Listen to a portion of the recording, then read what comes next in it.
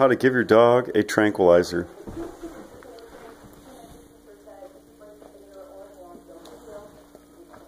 There we go. Good boy. Way to eat your pill. Oof.